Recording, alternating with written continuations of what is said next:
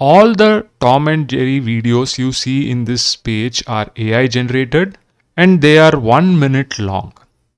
Okay, so the length of the video is one minute long and all these videos are produced directly by a video generation model in a single shot without editing, stitching or post processing.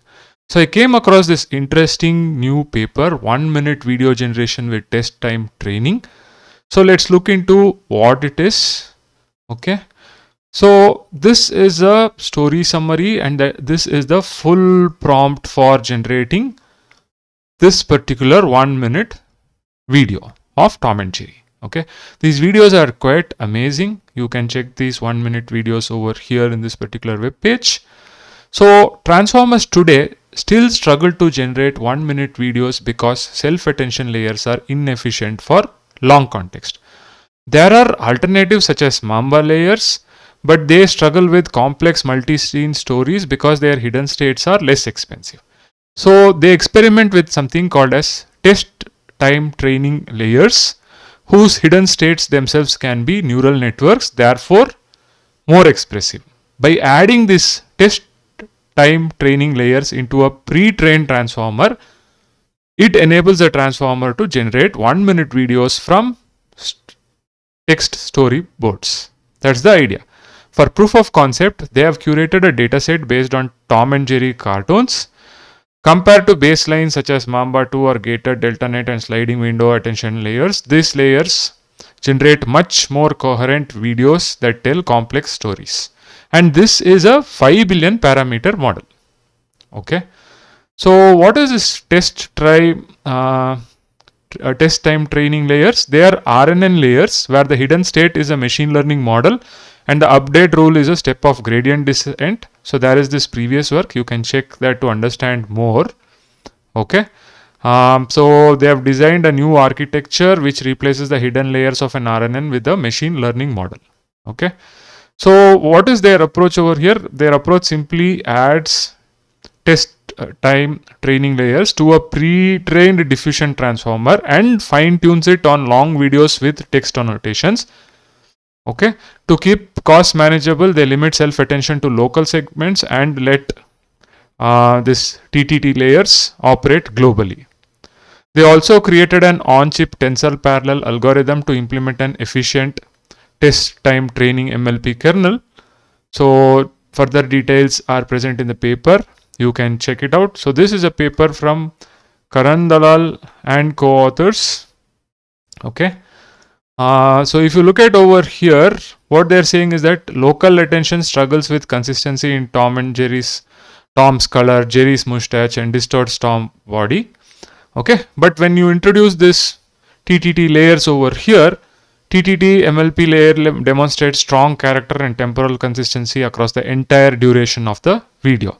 So I expect that this technique will be you know implemented by all video generators in the future for more consistent longer videos. Okay? So this particular technique outperforms all other baselines in temporal consistency motion smoothness and overall aesthetics as measured by human evaluation scores. So here they say that in this video um, uh, this TTT MLP preserves temporal consistency over scene changes and across angles so time as the time uh, in the video increases, the consistency is maintained. Okay.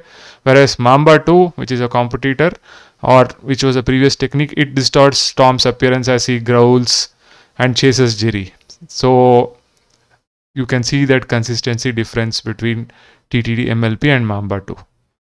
Whereas gated DeltaNet lacks temporal consistency across different angles of Tom, sliding window attention alters the kitchen environment and duplicates Jerry stealing the pie. So if you look at these three models, there are existing issues with respect to temporal consistency, which is overcome over here. Okay. So that is what they say over here. Then the limitations are that uh, the generated one minute video demonstrate clear potential as a proof of concept, but still contain notable artifacts. For example, here the boxes morph between the three second segments of the same video. Okay.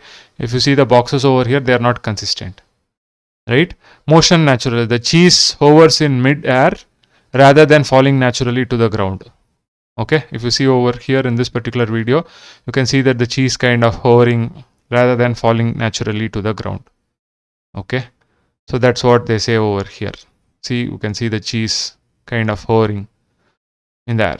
Okay, so motion naturalness and aesthetics. The lighting in the kitchen becomes dramatically brighter as Tom turns turns around. Let's see that part. Yeah, see the brightness in the video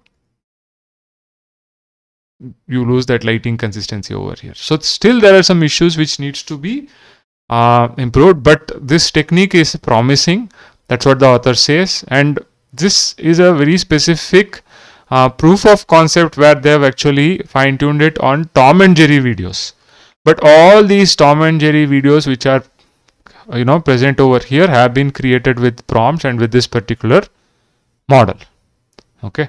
Now i think all the other video generation labs would look into this paper and then they would try to see how they can implement this in their video generation models for longer consistent videos so their code is present on github. They have also released a paper so you can check their paper uh, for further details.